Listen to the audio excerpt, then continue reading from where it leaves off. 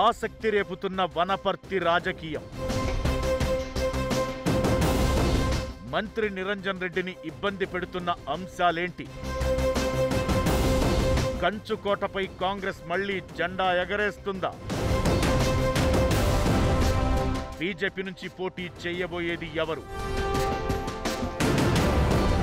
వనపర్తి అసెంబ్లీలో ఈసారి కనిపించబోయే సీనేంటి?